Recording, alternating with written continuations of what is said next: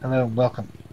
In this video I am showcasing the Vigorun Tech VTC 55090 remote control lawnmower. I purchased this from Vigorun Tech in China having failed to purchase a similar mower from a Chinese online site. I ran into trouble with the definition of free delivery. Um, I expect free delivery to be to the door, and the seller was down to do free delivery to the port. And then after that, um, some bogus tracking information appeared, which made me terminate the sale from that website. So I went and did my homework, and I found Vigorun Tech after searching for remote control lawnmowers um, 550 I had a good look at the website, I had a good look at the YouTube videos, and it seemed to me the more that I looked into it, the more and more it seemed to be the real deal of a company trying to sell lawnmowers.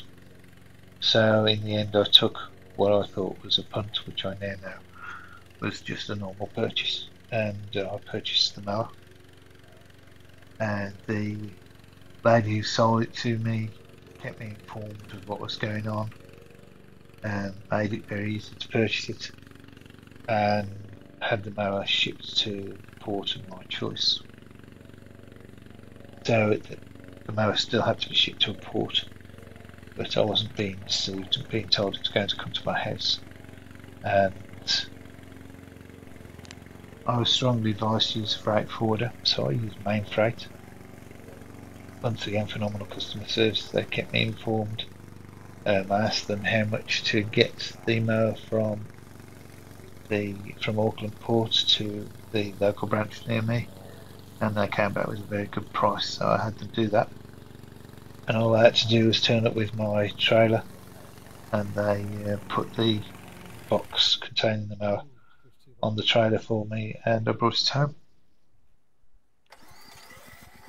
Just a few notes on my personal experience. Um, it's a very powerful machine. It's got two walking speeds, fast and slow, and it also responds to the um, control lever. I used it to cut, as you can see here, thick grass. This grass has not been cut for 18 months. It was on wet ground. With, with this thickness of grass, um, I was on full height with the cutting head and I just put it on crawl although it did stall out occasionally.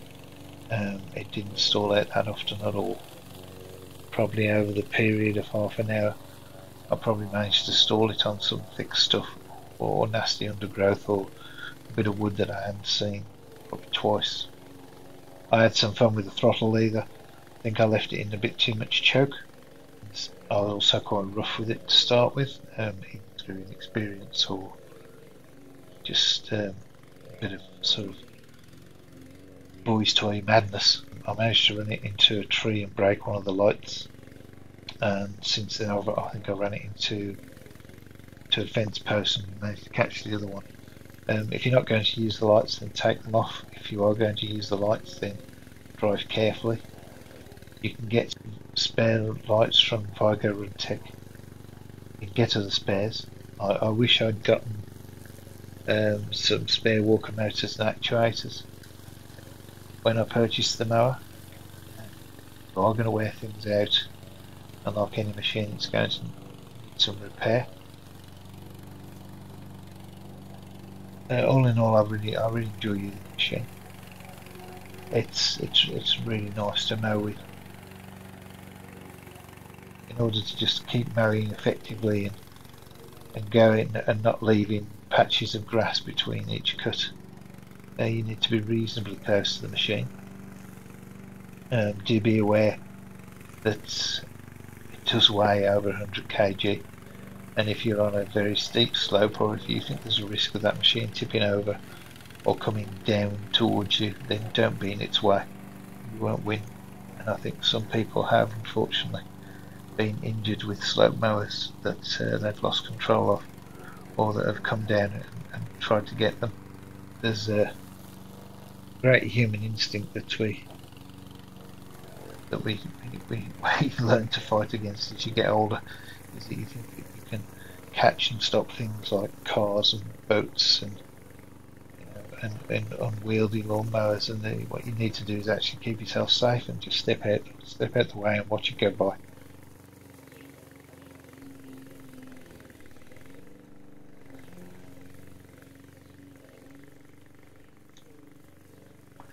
Remote control takes a little bit of getting used to. Initially, it's um, the the button for switching between crawl and um, walk is in the top side corner on the outer edge, and you can get this mixed up with the one that's just above the forward and backwards controller, which is the deck higher and lower.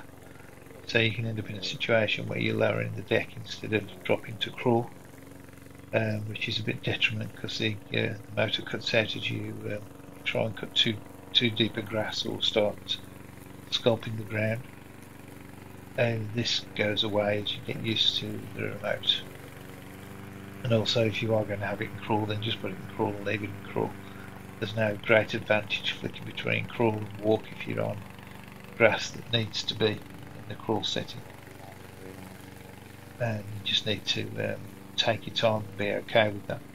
As I say, this uh, this grass that I was cutting hadn't been cut for 18 months. It was, it's winter in New Zealand and it's wet ground, so I'm asking a lot of any machine. And this machine certainly didn't disappoint.